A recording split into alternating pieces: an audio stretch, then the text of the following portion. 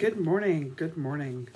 Uh, we are on Friday. We made it to Friday. It's been a very long week, as most of you, I'm sure, know. Uh, we have had a we had a full moon last night, which was most probably affecting the way thing the energy was going around you. Um, I know for me, I've had vivid dreams for the last two days, uh, and I think that kind of energy will probably continue for at least a day or two after the full moon. My, I'm doing a reading this morning, one, possibly two cards, depending on how it goes with the first one, and we will uh, be pulling, these are non-zodiac sign specific. They are for the greater good. What do we need to know to continue on with our day? Much like a horoscope that you would read daily, this is just sort of for something to have fun with, to enlighten your day, something for positivity to move forward.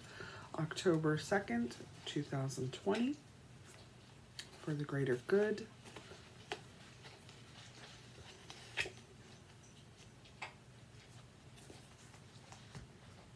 This is interesting.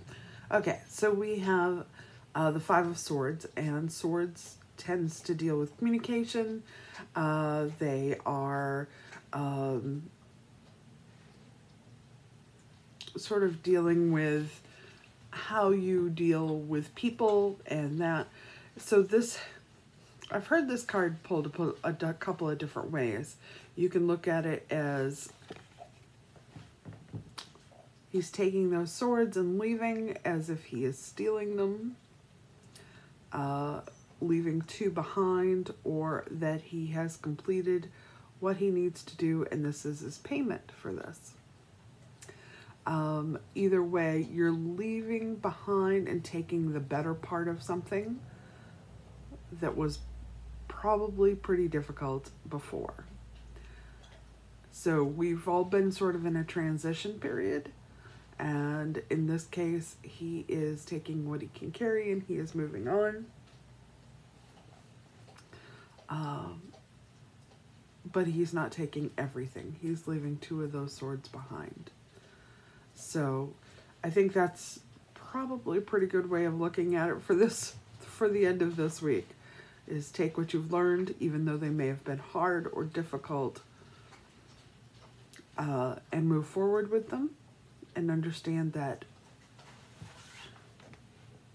the reality you're in is not permanent. It's ever changing.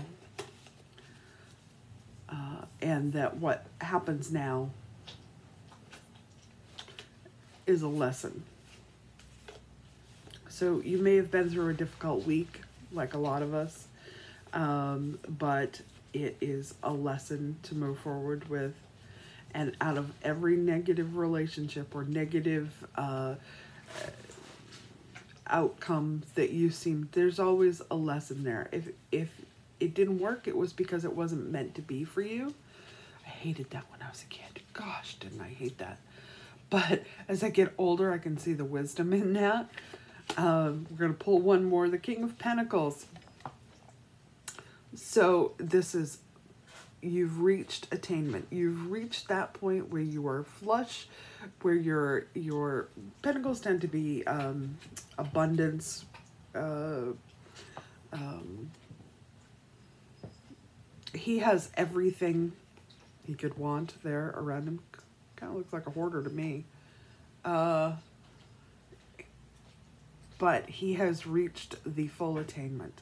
So in this case, you know, he has gotten what he needs out of the situation and he has reached a level of success. So hopefully some of you will be reaching some abundance today. All right, so that's it for today. I hope that you all are safe and well and heading into the weekend. I hope you have a fabulous weekend and uh, enjoy. Thanks. Bye.